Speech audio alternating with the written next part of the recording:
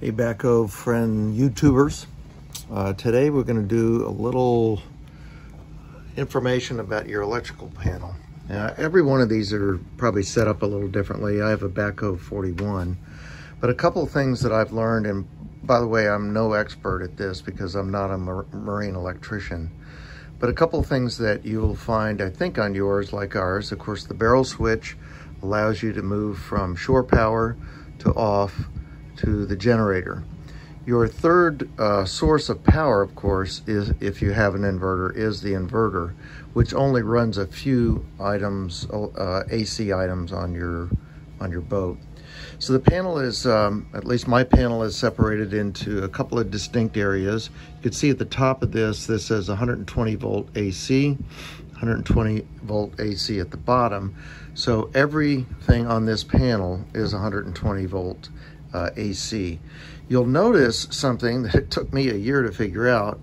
All of the AC lights on this panel are green and the DC loads on the panel are orange. So if you ever wonder, wonder what this switch, whether it's uh, off my battery or off the AC power, uh, that's a quick reminder of what it is. Also, you have a switch in some cases, if you have an inverter, that says sub panel. That refers to everything below it.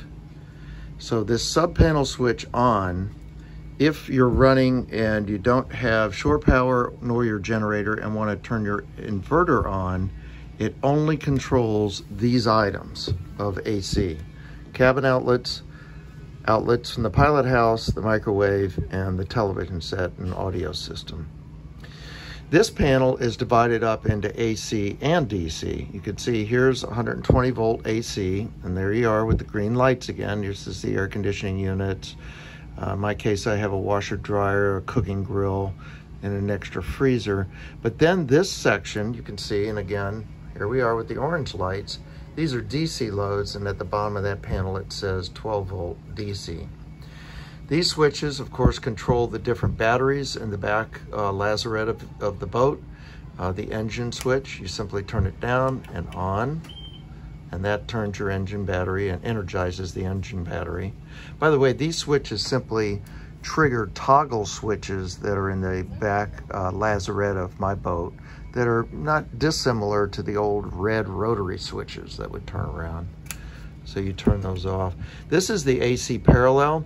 Uh, you, uh, I've been told you should always leave that in the auto position, not on on or off, but in the auto position, uh, which allows charging to go both to the engine bank and the house bank. And then these are for the generator battery, the bow thrusters and stern thrusters, which are uh, do share some of the batteries. Um, so then uh, we have various DC loads again. At the top here, you'll see this says 24 volt DC. This boat is 24 volt. The 12 volt here go through a converter and just convert it down to 12 volts. So these are 24 volt. This is the freshwater pump, the heads. Um, I have an oil change pump with the washdown pumps and so on. And then finally, on this side, you can see there are digital uh, readouts to give you the voltage on the engine, the voltage on the house, and then in my case, the third switch down is actually blank. It's not used. Uh, these, of course, are all DC loads, again, 24 volt DC, and we can confirm that by seeing the orange lights rather than green lights on it.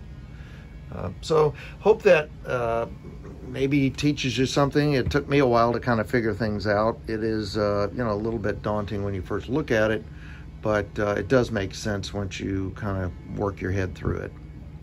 Thanks for watching.